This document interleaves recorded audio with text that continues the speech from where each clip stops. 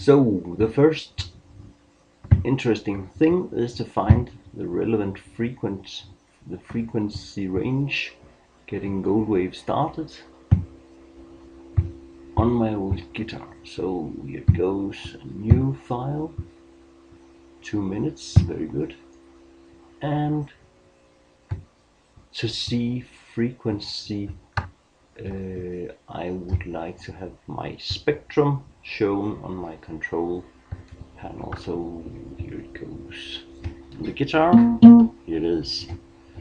So play. And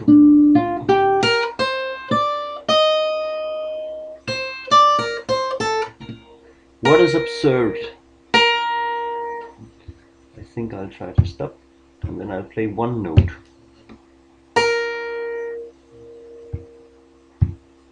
And what is observed is that there's a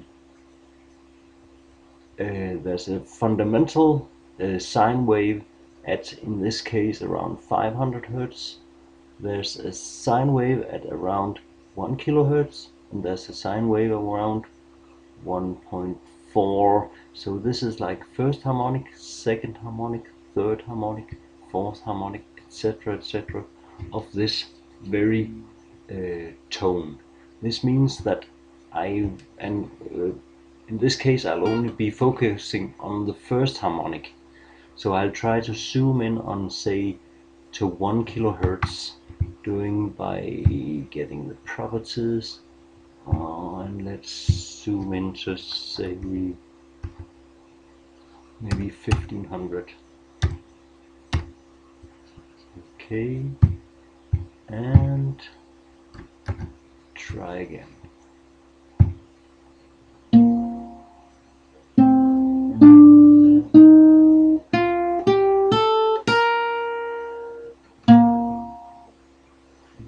Same exercise again. So let's just have one note. One. So this is like the bass note going around in this case say 260 maybe.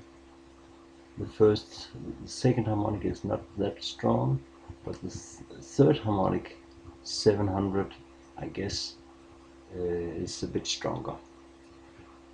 So um,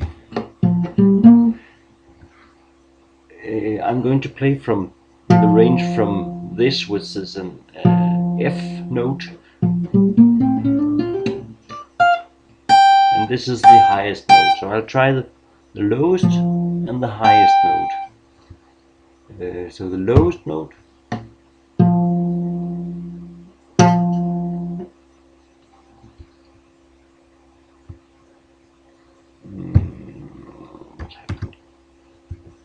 Once again the lowest note goes like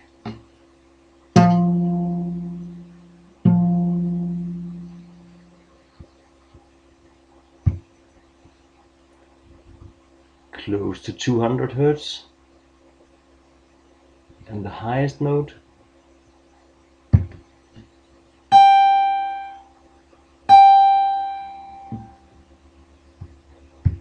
It's way easier. This is around 800 hertz.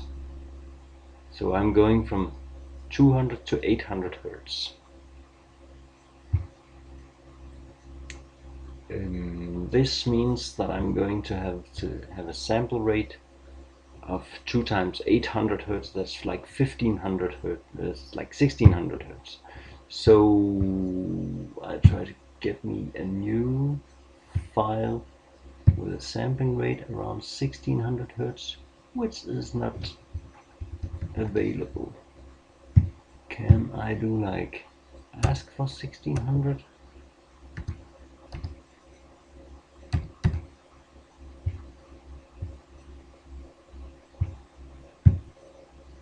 and I can. So I get rid of this old one. And here goes the plane.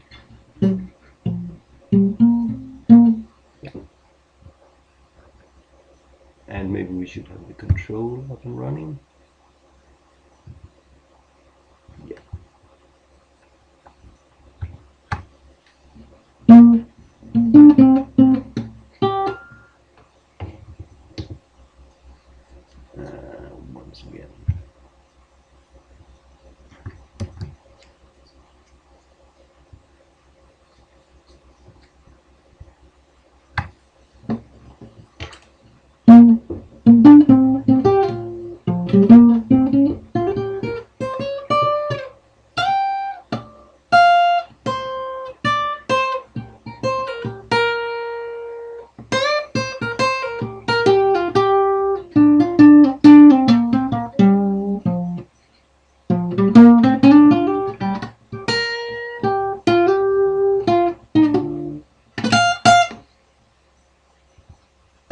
and that was that.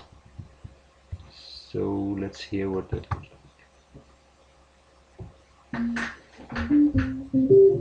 Mm-hmm.